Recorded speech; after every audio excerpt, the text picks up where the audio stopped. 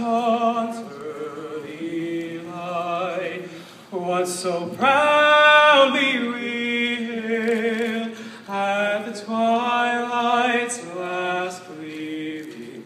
whose broad stripes and bright stars through the perilous fight o'er the ramparts so gallantly streaming, and the rockets regulate the bombs bursting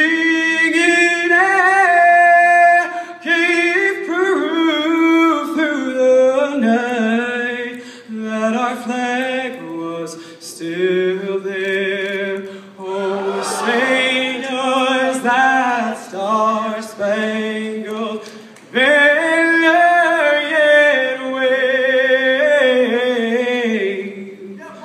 for the